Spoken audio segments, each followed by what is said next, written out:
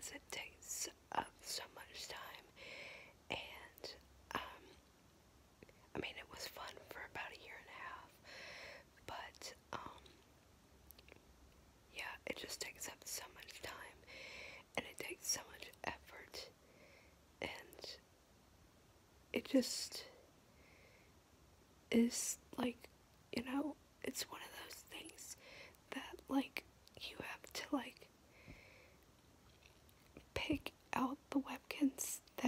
be in the photo shoot for like that particular month and stuff. So I just think that I should move on from that. So, yeah. Um, anyways, that's all I have to say. So, thank you guys so much for watching, and don't forget to subscribe.